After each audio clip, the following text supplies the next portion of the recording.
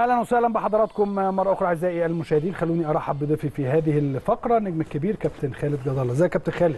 أهلا بيك كابتن إسلام. إيه؟ والله الحمد لله كابتن تمام. خالد النهارده يعني بيقول لي شوية كلام رائع. كنا بنتكلم عن مباراة الأهلي والترجي طبعا في بداية كلامنا وهنتكلم عنها أكتر النهارده ولكن كنا أيضا بنتكلم عن مباراة السان داونز والوداد المغربي وكان رأيه فيها وهاخد رأي كابتن خالد في كل هذه الأمور. ولكن الأول خلينا نبارك لفريق كرة اليد رجال بفوزه على سبورتنج النهارده 32 28 في منافسات المجموعة الثانية في ختام الدور الأول ببطوله كأس الكؤوس الإفريقية اللي بينظمها النادي الأهلي على صالة الملك عبد الله الفيصل وكالعادة طبعا بنبارك أو باركنا طبعا لفريق السيدات بفوزهم بدوري السوبر. الحمد لله كابتن خالد يعني الأمور ماشية في ألعاب الصالات تحديدا قبل ما نخش على الكورة. الحمد لله الأمور جيدة. الأمور أكتر من رائعة. آه. يعني كل الفرق الحمد لله نتائج هايلة بطولات كبيرة جدا مستوى رائع. نعم. آه وده ينم على آه رئيس نادي رائع كابتن. محمود الخطيب مجلس إدارة رائع. بيبثوا السعادة والفرحة لجماهير النادي الأهلي والأعضاء الجمعية العمومية.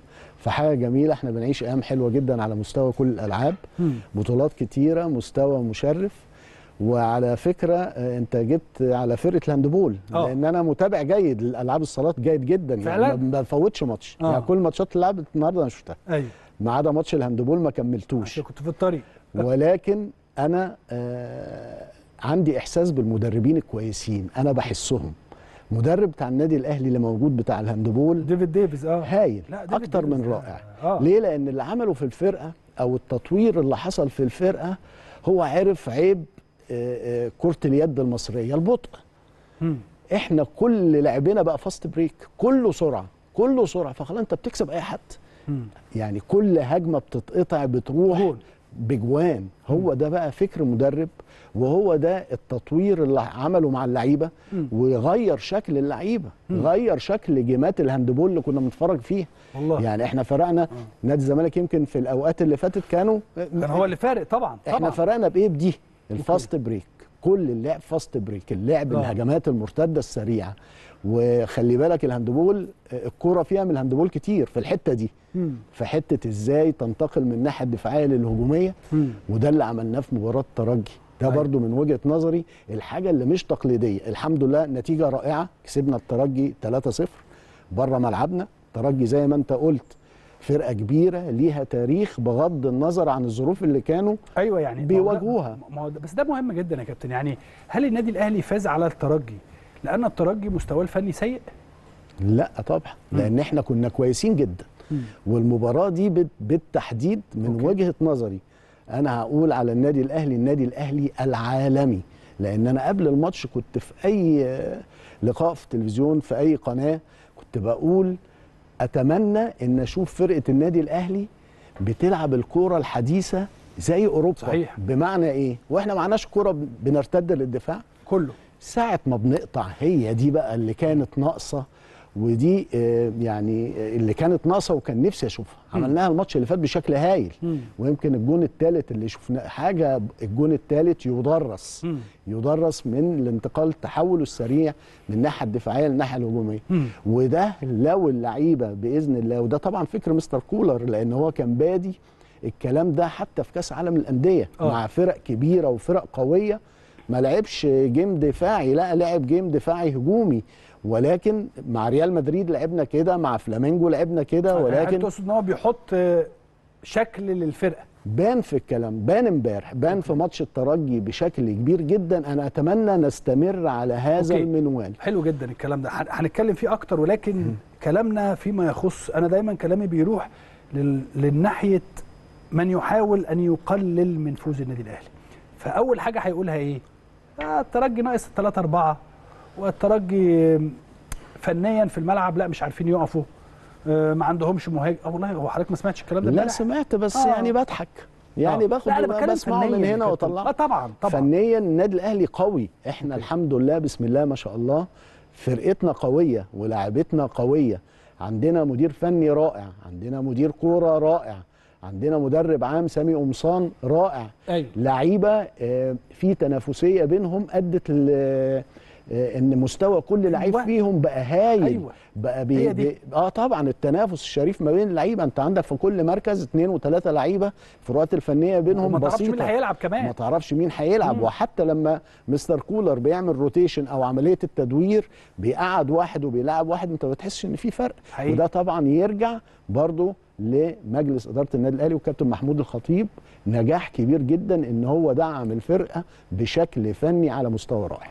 طيب يبقى بقى نروح خلاص لأنه أنا الحقيقة برضو كنت أتمنى إن أنا أسمع إن الناس بتبارك للنادي الأهلي على أداء لسه أصل خلي بالك برضو ما هو هناك البعض يقول لك إيه أصل النادي الأهلي برضو في المباراة النهائية طب يا جماعة هو على فكرة الترجي ده واحد من أهم وأعظم الفرق مهما طبعاً. كان ظروفه طبعاً. مهما كان أموره طبعاً. مهما كان استقالات كابتن آه، نبيل معلول استقال وعمل وبتاع ولكن في النهاية يظل الترجي واحد من العظماء في أفريقيا وبالتالي ما بتعرفش كرة القدم يا كابتن خالد؟ أنا طبعاً. شخصيا وطبعا يعني مش حضرتك أستاذنا مضمونة. في هذا الأمر. لا مش مضمونة. المباراة اللي جاية صعبة ومش هتخلص غير مع صفارة الحكم. آه. وأنا عارف إن النادي الأهلي ولاعيبه النادي الأهلي لا وصلوا لمرحلة من الخبرة آه، بشكل كويس جدا بيقدروا يفصلوا وبيقدروا وبيقدروا يقيموا الأمور صح. يعني هم هيقيموا الماتش اللي جاي آه. في صورته الطبيعية. آه. وطبعا مستر كولر والجهاز الفني والجهاز إيه صورته الطبيعية يا كابتن؟ صورته الطبيعية معلش أنا يمكن كلامي هيبقى مختلف عن بس أنا هيبقى بدري. أنا كان نفسي أقول الكلام ده مثلا يوم الأربعاء ولا بس هيبقى. بدري. آه. التعامل مع الماتش اللي جاي إزاي؟ أنا مثلا ساعات لما بسمع مثلا الناس بتتكلم في في برامج أو بتاع لسه من يومين يقول لك النادي الأهلي ينزل يضغط ويلعب يعني ليه؟ يعني أنا ك... أنا بتكلم دلوقتي لأن دي شغلتي و... طبعاً،. واشتغلنا القصص دي اللي تحسه أنت عمرك، آه. المفروض مش أي حد يحسه. حقيقي.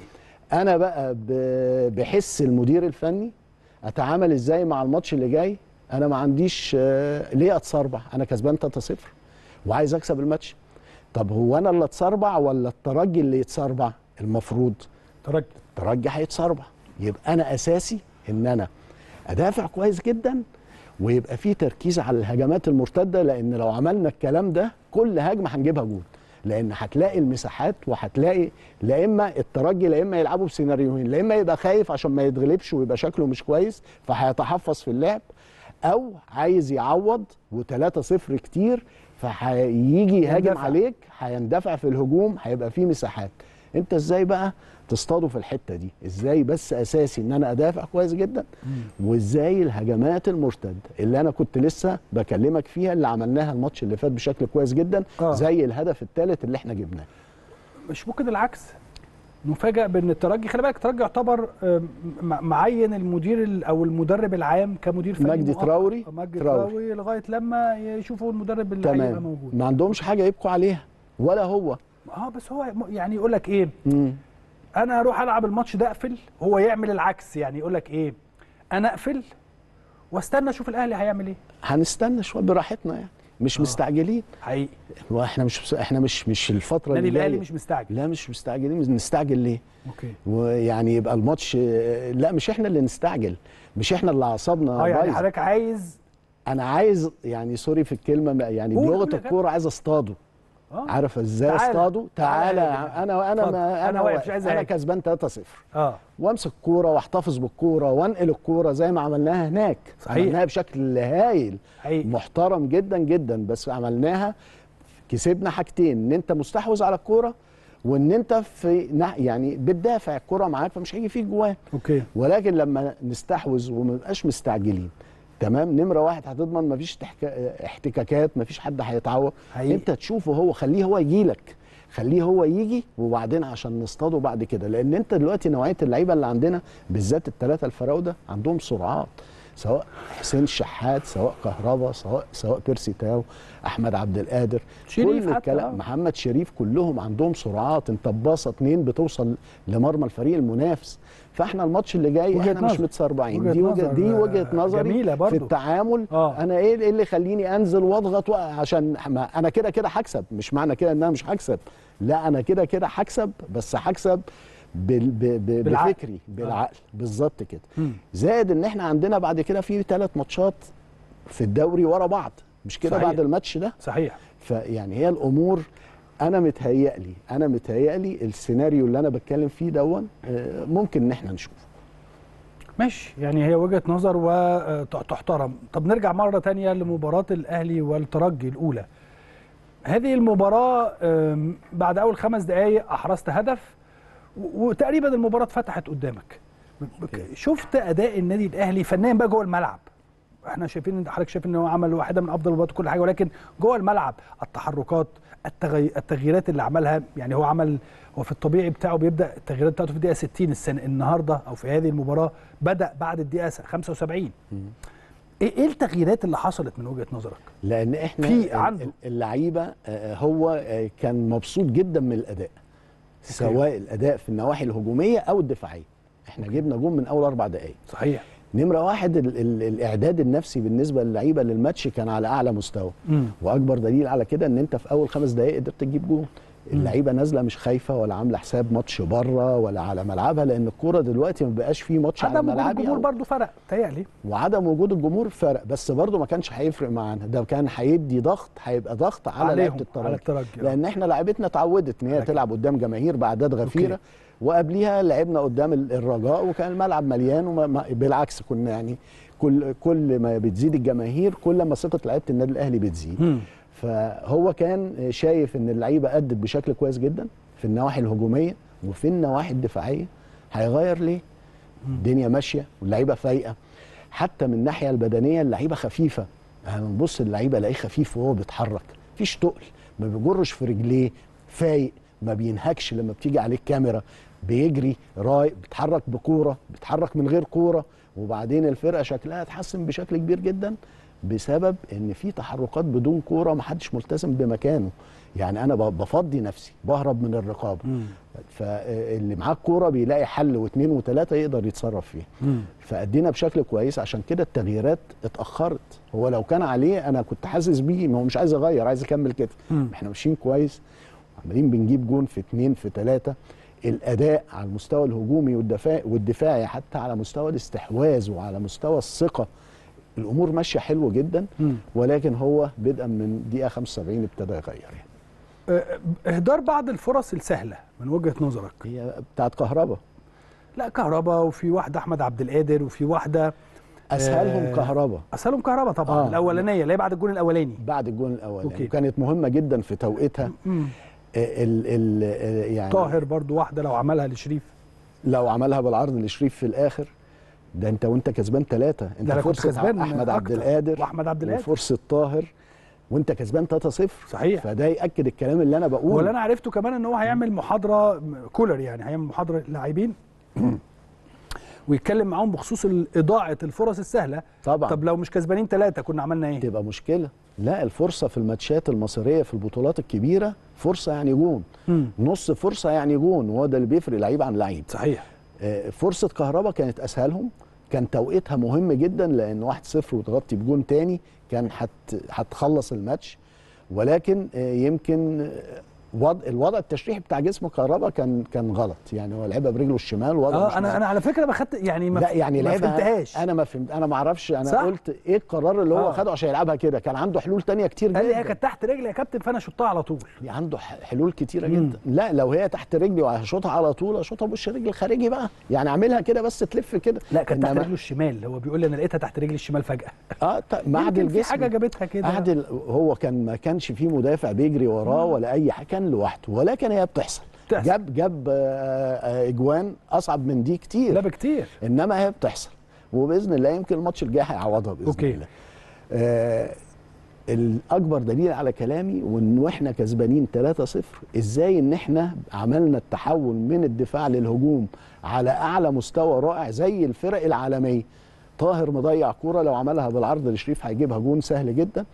عبد القادر. أحمد عبد القادر مضيع هدف وإحنا آه. كسبانين ثلاثة فاللعيبة بتلعب ونفسها مفتوحة وخفيفة في الحركة وفاهمة التكتيك اللي الراجل عايز ينفذه وبينفذوه وأكيد في التمرين اتمرنوا عليه مرة واثنين. أصل ده تعود آه. إن أنت لما الكرة تتقطع إزاي تتقدم ومين اللي بيجري يعني في ال fast break دوت أو ال counter attack أنا جيت في في في التسعينات في آخر التسعينات كان عندنا فرقة handball جامدة. الأهلي؟ كان آه، منتخب مصر. okay. آه والأهلي طبعا. كان مدرب ألماني اللي ماسك المنتخب وكان دكتور حسن مصطفى هو رئيس الاتحاد. آه. فقابلته مرة في النادي قلت له عايز أك- أروح اتفرج على التمرين. قال لي ليه؟ قلت له هروح اتفرج بس. فرحت اتفرجت. قال لي المواعيد رحت. واتكلمت مع الراجل الألماني على ال fast break بتاع آه، آه ال handball عشان كده حضرتك كنت مركز في طبعا ال- آه. طبعا. آه, آه, آه فقلت له لما الكرة بتتقطع هل أنت بتبقى محدد مين اللي هيجري قدام ولا هي بتبقى؟ قال لي لا طبعا ببقى محدد. آه. بص قال لي إيه في الحتة دي في تشابه بين ال handball والكورة okay. بشكل كبير مع اختلاف المساحات طبعا. قال لي لما بنقطع الكورة من ناحية الشمال already اللي ناحية اليمين هو بيجري sprint قدام ما بيبصش بيجري sprint عشان هو اللي هياخد. واللي بيقطع من الجنب ده بيبقى عارف إن هو هيلعبها للجنب التاني. وده وده غالبا برضو اللي بيحصل في الكورة. عايزين نتعود على كده. مم. يعني تبقى مش مرة واتنين لا عايزين يبقى على طول هو ده التعود إن اللعيبة تلعب بهذا المفهوم وبهذا النمط لأن هي دي كرة القدم الحديثة. آه. فأنا بعد الماتش بتاع الترجي سعيد جدا بالنتيجة سعيد جدا بالأداء ولكن سعادتي كانت أكبر بالشكل اللي النادي الأهلي لعب بيه. آه. لأنه شكل أوروبي حديث عالمي. طيب. أنا أصلي أنا أنا عندي مشكلة في إن هو مش عايز برضه أبص لمن يحاول أن يقلل من النادي الأهلي لا أنا بس مع- عايز أنا أرد عشان أنا سمعتك في الإنترو آه. اللي قال بالحظ. آه. لا أنا أقول له بس إحنا ما بنلعبش طاولة. ولا بنلعب كوتشينة. لا إحنا. بنلعب كورة. الكورة ما يتقالش فيها حظ. لو هو بيفهم كان قال توفيق. توفيق. آه ماشي. صح. أوكي. إنما حظ ده في الطاولة. لا والحظ بيجي للمجتهد برضه. التوفيق. هو توفيق بيجي التوفيق للمجتهد، صح. بيجي للمجتهد اللي يبقى بيتعب. أنا يبقى اللي نعتمد يا جماعة حتى الكلمة حتى لو أنا قلت بعد كده الحظ بيجي للمجتهد تقولوا لي. توفيق آه. طبعا. إن هو التوفيق بالفعل. آه طبعا طبعا. الطاولة فيها حظ. ممكن واحد بيقرص بتاع ماشي. إنما في الكورة لا. ده توفيق. والتوفيق بيجي للي بيتعب والمجتهد واللي ربنا سبحانه وتعالى بيحس إن هو يجي له التوفيق يبقى معاه. فإحنا الحمد لله ماشيين بخطى ثابتة عشان في نظام وفي احترافية في الأداء من ناحية كل الناس اللي موجودة. آه. فطبعا التوفيق لازم يكون بالمناسبة برضو الصحف التونسية دلوقتي لسه بيقولوا لي آه، مش رسمي يعني ده كلام يعني في الصحف التونسية والمواقع التونسية. إحنا بنتابع طبعا إيه اللي بيحصل في تونس عشان نعرف مين اللي هيكون المدير الفني للترجي المباراة القادمة. حتى مجدي تراوي آه، لم يتوصل آه، إدارة الترجي لم تتوصل لاتفاق معاه حتى الآن.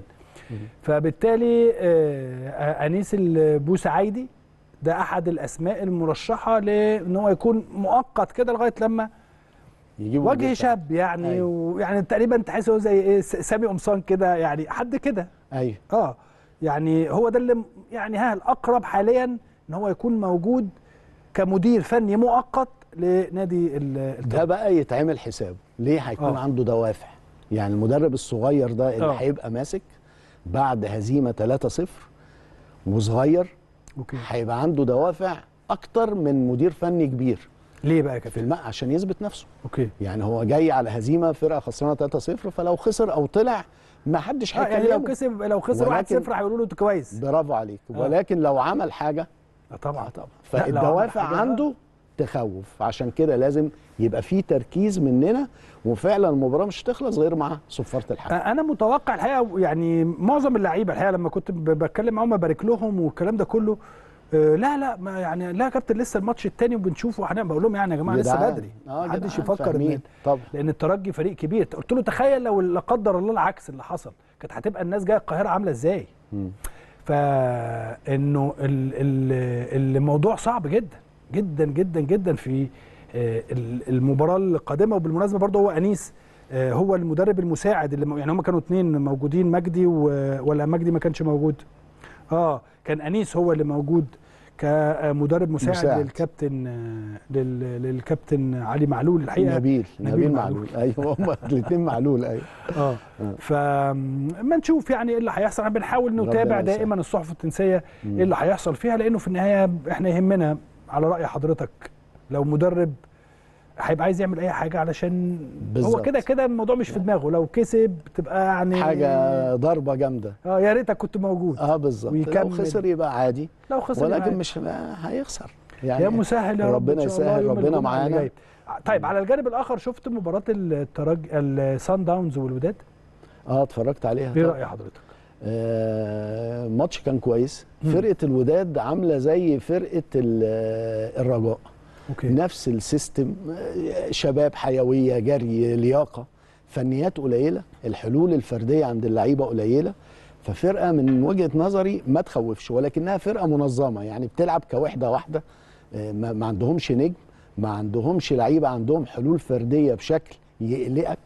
غير سان داونز. سان داونز لا عندهم لعيبة عندها حلول وعندها مهارات وعندها فكر وعندها مساحة رؤية بشكل كبير جدا. وعلى فكرة فرقة سان داونز اللي مميزها شوية كل اللعيبة حتى المدافعين مساحة الرؤية عندهم يا إسلام أنت عارف في لعيب كورة يبقى بيلعب شايف خمسة متر قدامه بس هو ده اللي شايفهم. في واحد تاني يبقى شايف خمسين متر. في واحد تاني يبقى شايف 100 متر. كل ما مساحة الرؤية عند اللاعب بتكبر عندك حلول كتير. هيبقى احتمالات إن هو يغلط حتى في التمرير قليل. هم عندهم الحتة دي كويسة جدا على كل مستوى الفرقة ولكن عندهم بعض نقاط الضعف اللي بإذن الله إحنا نعدي مباراة ترجي ونعدي هذا الدور وهم لو وصلوا هم لو وصلوا يبقى عندهم نقاط ممكن نستغلها بشكل مباراة كويس. الترجي و آه، أنا آسف مباراة السان داونز والوداد طرد لاعب آه، واحد من حضرتك بتقولي واحد من أهم اللاعبين رقم 35 ده أنا بتفرج عليه بص بقى أنا آه. نمرة 35 ده إسلام اللي هو بيلعب بشماله اللي اتطرد اللي هو داس على لاعب. الوداد آه الأسمراني شوية آه. آه. الأولاني اللي اتطرد م- هو مش مش فاكر اسمه ميمي ميمو حاجة كده آه. آه. يعني بس أنا متابعه من الماتشات اللي قبل كده. ده من اللعيبة اللي أتمنى أشوفها في النادي الأهلي. رقم 35 أشول في نص الملعب. playmaker ولكن مش playmaker تقليدي. مم. مش على الواقف. آه. بيتحرك متحرك passer على أعلى مستوى. بيشوط برجله الشمال زي الدانات. بيجيب أجوان. بيدي سروهات بيرجع بيدافع. فلعيب متكامل. فأنا يعني لو هيتوقف ماتشين أنا هبقى مبسوط جدا إن هو بإذن الله لما نوصل ما يلعبش قدامنا؟ رقم 35 35 لعيب كويس. آه طبعا. آه، مطرود مني اتنين لعيبة لعيب وبعد كده بشوية أو في أواخر الشوط الثاني لعيب آخر. آه، ولكن مش باين على فريق صن داونز إن هو كان مطرود من عنده حد. لأن هم آه تكتيكي فاهمين. هم جوه الملعب ما بيسرحوش. okay. يعني في حتة التمركز كل واحد بيلعب في في المكان بتاعه بشكل كويس جدا. إزاي؟ بيقللوا المساحات. لما اتطرد منهم اتنين قللوا وضيقوا المساحات على فرقة ال- الوداد. وزي ما بقول لك فرقة الوداد ما عندهمش اللعيبة اللي عندهم حلول فردية. يقدروا يتغلبوا على هذا الكلام. فما بانش إن فرقة سان داونز بتلعب ناقصة. يعني آه. حتى الزيادة العادية فرقة الوداد ما استفادتش منها. وليه ما استفادتش منها؟ لأن زي ما بقول لك ما عندهمش اللعيبة الحلول الفردية عندهم ضئيلة جدا. مم. آه، فريق السان داونز واحد من أهم الفرق التي لا تع... لا لا تعتمد على الأطراف. بيعتمد دائما على على عمق. آه. ومع ذلك يا نقطة كابتن مهمة قوي دي. آه. ومع ذلك كل مباراة بيجيب أجوان وبيجيب أجوان حلوة. في ظل يعني مفروض يعني اللي إحنا عارفينه في الكورة إن العمق ده هو اللي مقفول وهو هو دايما يقول لك العب على الجناب ده هو العمق اللي بيجي منه الإجوان ما هو آه الجناب هم الأوفرات اللي هي مساعد عامل آه مساعد بس لو ما. عندكش حد بيلعب بدماغه كويس أوكي. هتبقى كل الأوفرات. دي على الفاضي صحيح هم عشان لعيبة كورة كويسين وزي ما بقول لك مساحة الرؤية عندهم هايلة كورة بيعرفوا يباصوا ما بيغلطوش في الباصة غير كل فين وفين مم. تمام. فهو بيعمل إيه زي ما إحنا بنقول في محللين تطلع يقول لك آه، الفرقة دي بتعمل خلخلة لخط الدفاع. يعني إيه خلخلة لخط الدفاع؟ ما هو الناس ممكن ما تفهمش اللي بيسمع. يعني صحيح. خل... إيه بقى هي الخلخلة؟ مم. إن إزاي أنا أطلع كرة على على جنب من الجناب لأن لما الكرة بتطلع على جنب الفرقة كلها بتتحرك كده. صحيح. وإزاي أرجعها تاني وأخترق من العمق؟ أنت كده بتخلخل. هو ده خلخلة خط الدفاع. مم. إن أنت تطلع على جنب أخدها أطلع على جنب تاني. كل ده أنا بحرك الدفاع كده وأرجعه كده.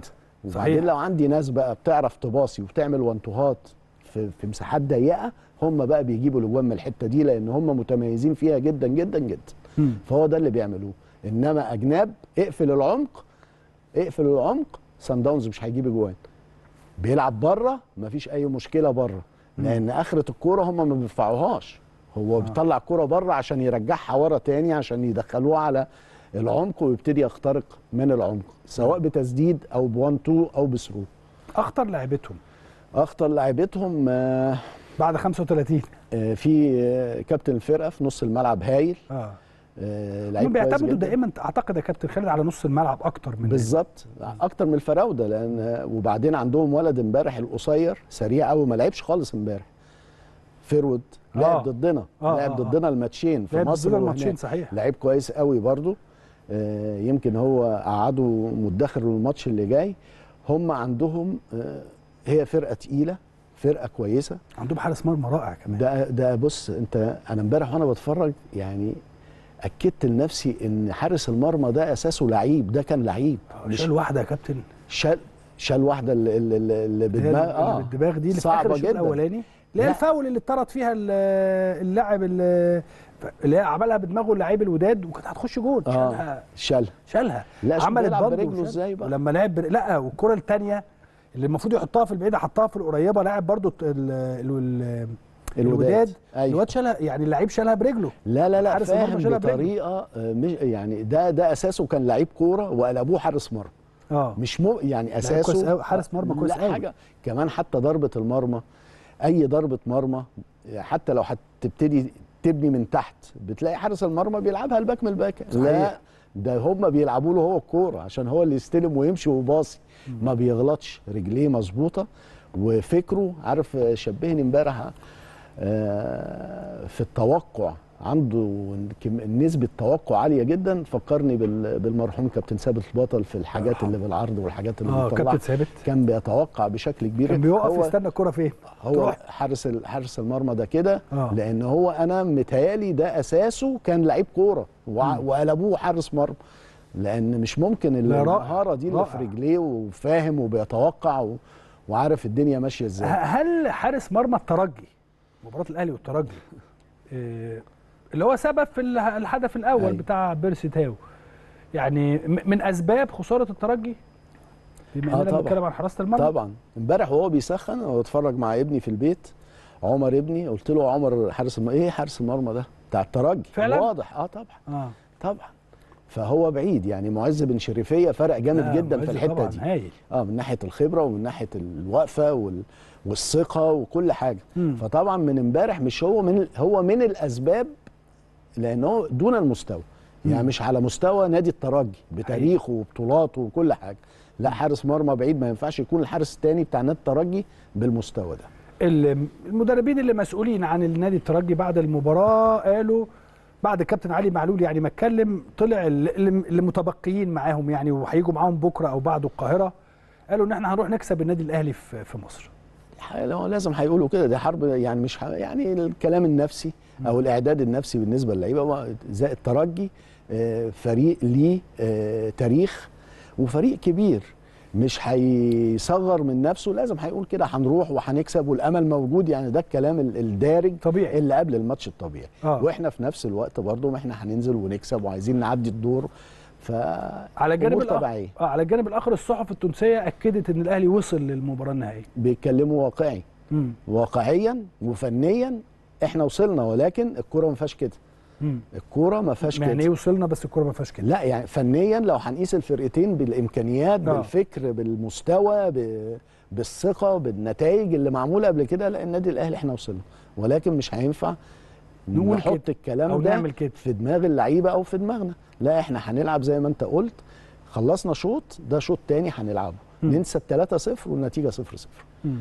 وننزل نلعب ونأدي بالشكل اللي إحنا منتظرينه لأن هيبقى في وسط جماهيرنا. ولاعيبه النادي الأهلي لازم تفرح جمهور النادي الأهلي على ملعب. آم، مباراة ال- الترجي برضو القادمة هل من المتوقع أن تشاهد تغيير سواء في الأهلي أو في الترجي؟ في الأهلي مش هنشوف تغيير لأن الفرقة ماشية كويس. هيكمل بنفس الشكل. هيكمل بنفس الشكل. مم.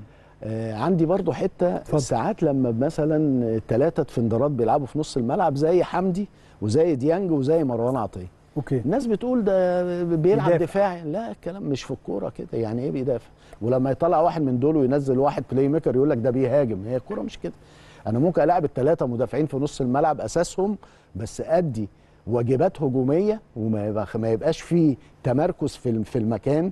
يعني كفاية يبقى واحد وأنا بهاجم ممكن كفاية اتنين يبقوا موجودين ثابتين عشان يأمنوا الدنيا والتالت زي ما بنشوف حمدي فتحي بيتقدم وبيجيب اجوان وبيشوط. بالتبادل مرة حمدي مرة ديانج مرة مروان عطية. المهم في تأمين وناس ثابتة.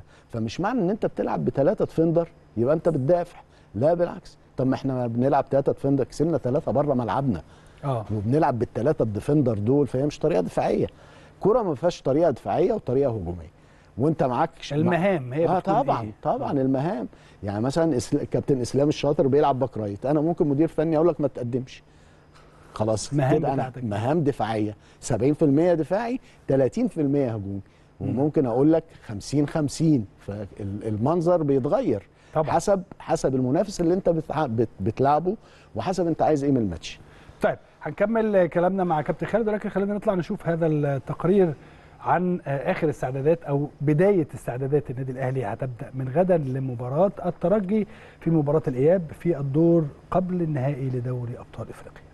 على قدم وساق يستأنف الفريق الكروي الأول بالنادي الأهلي تدريباته الجادة الاثنين على أرض ملعب مختار التتش بالجزيرة وذلك عقب انتهاء فترة الراحة التي منحها الجهاز الفني بقيادة السويسري مارسيل كولر المدير الفني للأهلي عقب وصول البعثة إلى القاهرة في الساعات الأولى من صباح السبت الماضي عقب تحقيق فوز تاريخي على الترجي التونسي في عقر داره بثلاثية نظيفة على أرض ملعب رادس مساء الجمعة الماضية.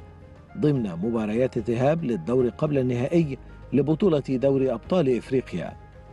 جاءت بأقدام المتألق بيرسي تاو مسجلا هدفين ولا أروع فيما سجل الهدف الثالث الفولت العالي محمود عبد المنعم كهرباء ووصل بهذا الهدف إلى صدارة هدافي البطولة بالتساوي مع بيتر شالوليلي مهاجم سان داونز.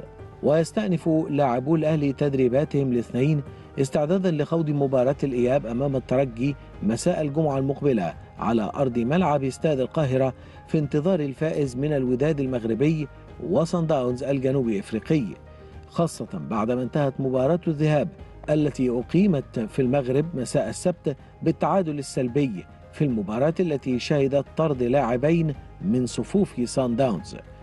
ومن المنتظر أن يقوم السويسري مارسيل كولر على تصحيح بعض الأخطاء التي حدثت في مباراة الترجي الماضية وكذلك التركيز على علاج ظاهرة إهدار الفرص السهلة وتلاشيها وهو أمر ضروري بالنسبة للجهاز الفني قبل خوض المباراة النهائية للبطولة الإفريقية. أهلا وسهلا بحضراتكم مرة أخرى أعزائي المشاهدين.